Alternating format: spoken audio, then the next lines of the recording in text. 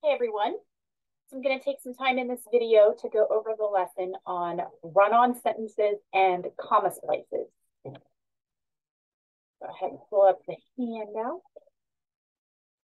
Okay, so in the previous lesson, we learned about sentence fragments, which are basically exactly what they sound like, a fragment of a sentence, not a complete sentence. So in that lesson, we talked about how a sentence fragment is either missing the subject or the verb or possibly both. And it looks like a sentence. It's trying to function like a sentence, but it is technically not a complete sentence, right? So we talked about how to identify those, how to fix them, that sort of thing. Well, here in this lesson, we're looking at what is sort of the opposite of that problem. A run-on sentence is two independent clauses or two complete sentences that are fused together with nothing separating one sentence from the next right? So whereas a fragment lacks a subject and or a verb a run-on sentence has all of the elements needed to make it complete but there's two or more complete sentences there and they're not separated like they should be. So i have some examples here Sarah did a great job. She was promoted. You can see, if you look closely, we have Sarah did, subject and verb, a great job. That is one complete thought. She was promoted. That is another complete thought. So even though these are two short sentences, it is still two complete sentences that have simply been fused together. The first one runs on into the second one, hence the term run on sentence. Another example, I got a speeding ticket last week. The cost of my insurance will probably go up. So we have one complete thought here. I got a speeding ticket last week. The cost of my insurance will probably go up. So this first sentence runs on into the second one we have not separated these sentences like they should be. This example as well. My mother gave me permission, however, my father told me I could not use the car. So we have a complete thought here. My mother gave me permission. And then another complete thought here. However, my father told me I could not use the car. Right? So run on sentences. When you have two or more complete sentences that are fused together with nothing separating them. And we know, we know that when we get to the end of a sentence, we put a period and then we begin the next sentence. We know that there should be something separating the end of the first sentence from the beginning of the second sentence. A run on sentence is when there is nothing there. The first sentence runs on into the second one. Now, we know if we come across run on sentences, we know we can say to ourselves, okay, we know we're supposed to put a period at the end of the first sentence and then capitalize the first letter of the first word of the next sentence. But we also know that we want our sentences to be um, interesting. We want to have variety in our sentence structure. We don't want a bunch of short, choppy sentences. So we know it's okay to combine sentences. So when we come across a run-on sentence and, you know, we're looking here, Sarah did a great job. She was promoted. Oh, I have a run-on sentence here. But these are two very short sentences. I don't want them to be two separate short sentences, one right after another. So I know I need to separate them somehow, but I don't really want to use a period. Hmm, maybe I'll just put a comma. No, you cannot do that because that is what we call a comma splice. So what is a comma splice?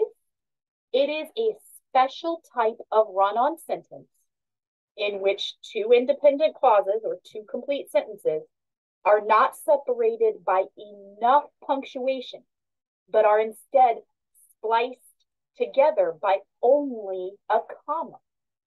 So contrary to popular belief, a comma by itself is not strong enough to join together to complete sentences.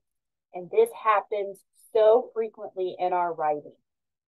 Um, not only do we tend to have comma splices naturally, like Sarah did a great job, comma, she was promoted. Like that might be how we originally wrote it. Maybe we never had it like this. Maybe it was never a, a, a run on sentence. Maybe we originally typed it like this.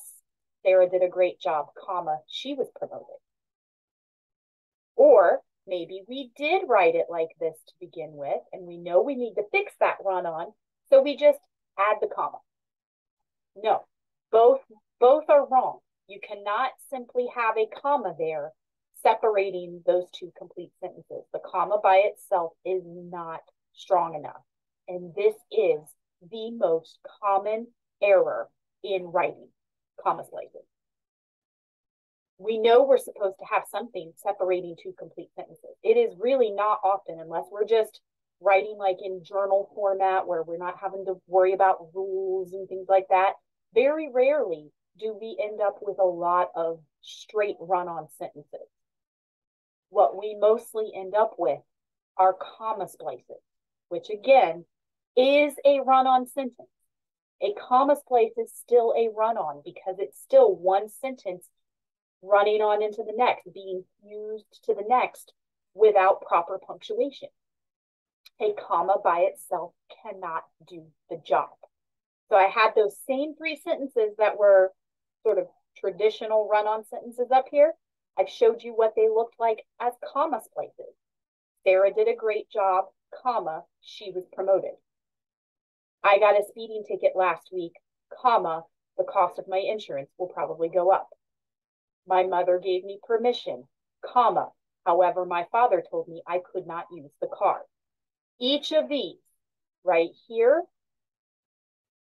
right here, and right here, those commas, those are all comma splices, and all three of them are wrong. All three of those are grammatic, grammatical errors. They need to still be fixed. So you have two scenarios in which you might come across this type of general error. You have a straight traditional run on sentence like these up here, and you have comma splices like these down here. Sometimes this is what we write to begin with, and then we know it needs to be fixed, and we try to fix it by doing this, but that's not a fix. This is still wrong. Sometimes this is how we write it to begin with, and it's wrong. So how do we fix these errors? Well, the most obvious correction would be to create two separate sentences. If we know we have a run-on or comma splice where we've got one complete sentence going into the next sentence with either nothing separating them or only a comma separating them, why not just put a period at the end of the first one, capitalize the first letter of the first word of the next one. So here's how our errors would look if we corrected them in that manner. Sarah did a great job, period. She was promoted. Oops, my period there, right? I got a speeding ticket last week, period. The cost of my insurance will probably go up. My mother gave me permission, period. However, my father told me I could not use the car, right? So that is an acceptable way of fixing a run on or comma splice. Now, is that the best way to fix these errors? Sometimes, yeah, it's a perfectly fine, good choice. But if you are prone to having a lot of run on sentences or comma splices in your writing, then this is not the way that you want to fix every single one of those errors. Because if you do that, if your way of correcting a run-on sentence or comma splice is to always just create two separate sentences, you're going to end up with a bunch of short, choppy sentences. And there will be no coherence to your writing because you're not connecting any of your ideas. We don't really know. Sarah did a great job. She was promoted. Okay, why why did you tell me that first idea and then follow it up with that second idea? How are they connected? So that is one reason why you want this first option to be sort of your last resort. Even though I've listed it first, I've listed it first because it's the easiest way. um, the most, you know, the one that would come to mind first, more than likely.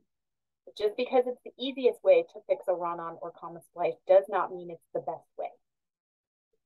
So another way that we can resolve these errors is to use a semicolon. Because remember, when we went through the useful words for grammar and mechanics lesson, I talked a little bit about semicolon. And I said a semicolon is used to connect two complete sentences that are so closely related that you want them to remain together as one technically grammatically correct sentence. But you have to have a complete sentence on both sides of the semicolon. Well, if we have a run-on sentence or a comma splice, we know we have two complete sentences there. We can use a semicolon to separate them. So a comma by itself is not strong enough, but a semicolon is. So you could put, Sarah did a great job, semicolon, she was promoted. I got a speeding ticket last week, semicolon, the cost of my insurance will probably go up.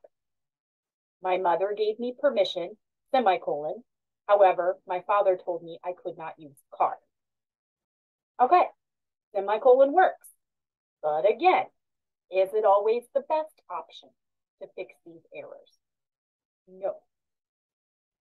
You don't want to overuse that type of punctuation mark. So again, if you are prone to having a lot of run-on sentences or comma splices in your writing, you don't want to fix every one of them by simply plugging in a semicolon. It will get repetitive. And again, you aren't necessarily creating coherence among your thoughts if you continually use that semicolon.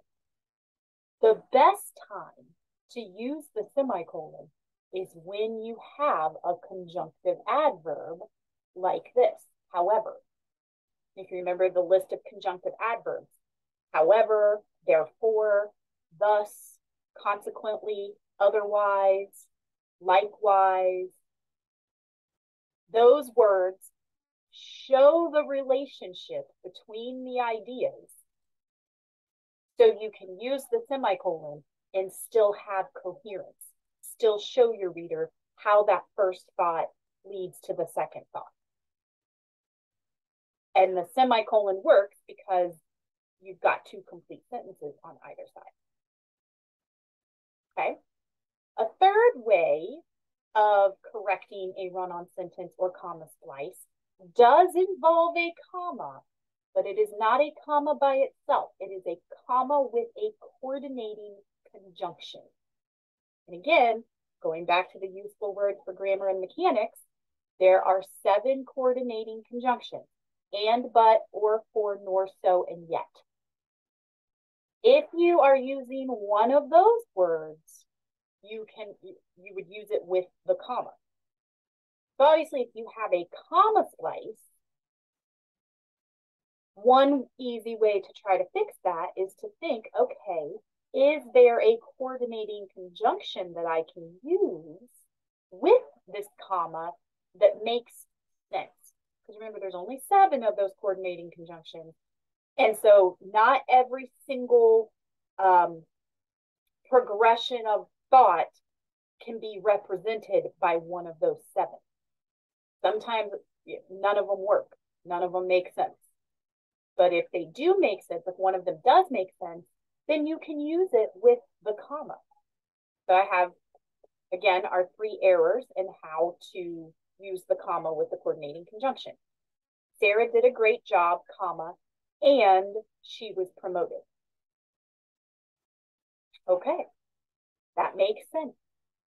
We have the comma with the coordinating conjunction, and the coordinating conjunction we've used makes sense given how this first thought leads to the second thought. Or, I got a speeding ticket last week, comma, so the cost of my insurance will probably go up. Again, we've got a comma with the coordinating conjunction, so we're good there. And the coordinating conjunction we've used makes sense given how this first thought leads to the second thought. Our third example. That third example already has that conjunctive adverb. So again, I actually wouldn't change it. I would use this, the semicolon method when you have a conjunctive adverb involved. But just to show you what it would be like to fix it with a comma and coordinating conjunction, it would be this. My mother gave me permission, comma, but my father told me I could not use the car. Again, comma with a coordinating conjunction. The coordinating conjunction makes sense logically given how these two thoughts are connected. The fourth and final way that you can fix a comma splice or run-on sentence is probably the most elevated. It is the one that will create the big, the more, the most variety in your writing and um, show more complexity of thought. This is the one you want to practice and get better at. Remember, subordinating conjunctions, um, we talked about those in the useful words lesson. Subordinating conjunctions take a complete sentence and turn it into a dependent clause that must be connected to a complete sentence. So that's how the fourth way that you can fix a run-on sentence or comma splice is to create a dependent clause by using a subordinating conjunction, and then the sentences can remain connected, right? Because Sarah did a great job, she was promoted. We can keep the comma there now since we've used this subordinating conjunction. We turned this complete sentence, Sarah did a great job, into an incomplete sentence by adding the word because. Because Sarah did a great job, it has to be connected now to something complete. She was promoted. Or the cost of my insurance will probably go up because I got a speeding ticket last week. You can switch it. I know in the original part about getting the speeding ticket came first. So you could say, because I got a speeding ticket last week, the cost of my insurance will probably go up. It can now stay connected since you have used the subordinating conjunction. All right, we had, you know, my mother gave me permission. However, my father told me I could not use the car. Although my mother gave me permission, my father told me I could not use the car. That is the best way to practice correcting run on sentences and comma splices because it allows you to create variety in your sentence structure, but also ensures that the connection among the ideas is clear. It creates very strong coherence. Whereas the other, like creating two separate sentences, that is going to, that's risky because then you may lose coherence. Using a semicolon, same thing. It, it might not show how your ideas are connected, how one leads to the next. A comma and a coordinating conjunction, that's okay. That, that usually creates coherence. It usually shows the relationship among your ideas. but remember there's only seven of them. And so it's very possible that none of those seven will work to show how your ideas are connected. And again, for variety's sake, you don't want to always use a comma with a coordinating conjunction. You want to get better at the method of correction that takes a little more work, but has a much stronger effect. All right, let's take a look at some examples here. All right, this is a fairly new product, therefore some people don't trust it. All right, so you have to think about, do we hear two complete thoughts here? This is a fairly new product. Therefore, some people don't trust it. So what we have here is a comma splice because the first sentence ends after the word product. The second sentence begins with the word therefore, and all we have separating them is this tiny little comma that's not strong enough to do this job. So we would need to fix that. All right. Efforts are being made to halt water pollution. However, there is no simple solution to the problem. Again, we've got efforts are being made to halt water pollution. However, there is no simple solution to the problem. Two complete sentences with just this little tiny comma trying to connect them, but it's not strong enough. So number one and number two here are comma splices. Number three, Bill slept through his final exam. He had forgotten to set his alarm. Right? Bill slept through his final exam. He had forgotten to set his alarm. So we have a run-on sentence right here. Ellen must be a genius. She never studies yet always gets A's. Ellen must be a genius. She never studies yet always gets A's. Again, we have a little tiny comma trying to connect them. Comma splice. Judy leads a charmed life. She never seems to have a serious accident. Judy leads a charmed life. She never seems to have a serious accident. A run-on sentence. First sentence runs right on into the second. Throughout history, money and religion were closely linked. There was little distinction between government and religion. Throughout history, money and religion were closely linked. There was little distinction between government and religion. Little tiny comma, trying to connect these two complete sentences. Not strong enough, we have a comma splice. The head of state and the religious leader were often the same person. All power rested in one ruler. The head of state and the religious leader were often the same person. All power rested in one ruler. Run on sentence. These powerful leaders decided what objects would serve as money. Their backing encouraged public faith in money. These powerful leaders decided what objects would serve as money. Their backing encouraged public faith in money. Coins were printed of precious metals. The religious overtones of money were then strengthened. Coins were minted of precious metals. The religious overtones of money were then strengthened. Little comma trying to connect them. Not strong enough. We have a comma splice. People already believed the precious metals to be divine, using them to make coins intensified money's allure. People already believed the precious metals to be divine, using them to make coins intensified money's allure. With a little tiny comma, trying to do the job.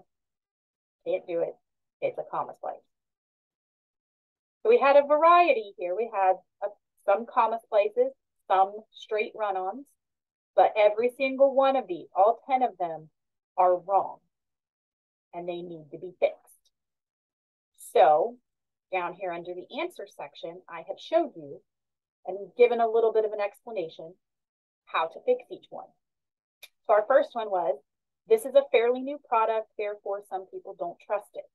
If you remember up above, we had said we have a comma splice here because we have, this is a fairly new product. Therefore, some people don't trust it. Two complete sentences with just this little tiny comma trying to connect them. Right? We know that the comma is not strong enough. We know this needs to be fixed. What is the best way to fix it? Well, since we already have that conjunctive adverb right there, the best way to fix this would simply be to change this comma to a semicolon. This is a fairly new product, semicolon. Therefore, some people don't trust it. Same thing with the second one. We already have the conjunctive adverb here, so why not just make this comma a semicolon? Shows the relationship, easy fix. We haven't lost any of the meaning. We haven't lost any coherence.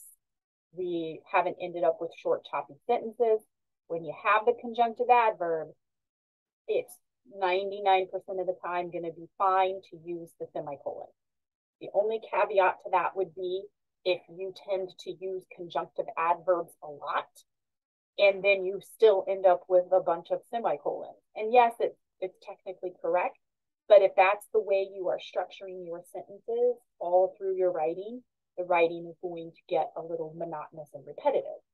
So you do want to keep that in mind if you like to use the semicolon and conjunctive adverb combo. Right? Um, Bill slept through his final exam. He had forgotten to set his alarm. So this is a run-on sentence because we have Bill slept through his final exam and it runs right into he had forgotten to set his alarm. So what's the best way to fix this one? I've showed you all four methods here. Bill slept through his final exam, period. He had forgotten to set his alarm. Bill slept through his final exam, semicolon. He had forgotten to set his alarm. These two are the easiest fixes, but those are not the ones you want to go for first. You either want the comma with the coordinating conjunction. Bill slept through his final exam, comma, for he had forgotten to set his alarm. Or you want to go for using a subordinating conjunction to create a dependent clause. Bill slept through his final exam because he had forgotten to set his alarm. Okay, so you can go ahead and go through the rest of them. And same deal, I've kind of given a little explanation and then showed you um, all four methods of correction. For almost all of them, you want to avoid these two right away, right? You certainly want this. This is really just creating two separate sentences is really not the way to go unless you've got one long sentence that runs into a second longer sentence. If both of those sentences are, are pretty lengthy, then yeah, going ahead and using the period and having two completely separate sentences is fine. But if you've got shorter sentences, you don't just want to constantly put a period and fix it that way. Because again, it's just, it's not the most effective way. Um, semicolons, great to use with conjunctive adverbs.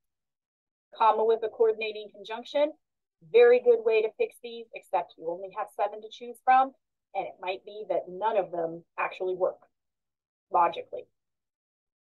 Fourth method, using a subordinating conjunction to create a dependent clause.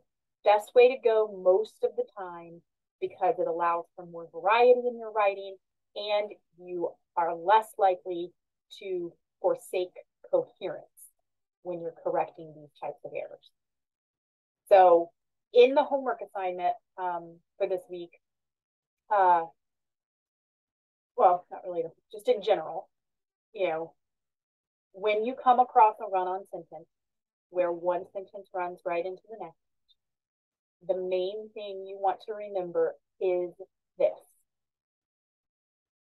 I have an error here.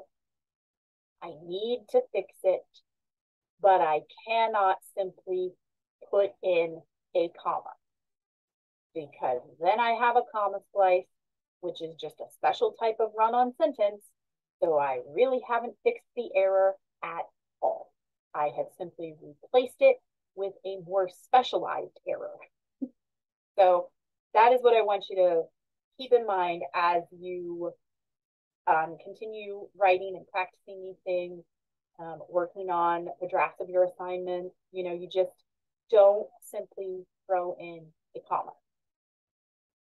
Uh, now, having said all of that, it, are, are, are we going to become masters of this right away where we can write something and just immediately feel confident that we won't have any run on sentences or comma splices? No.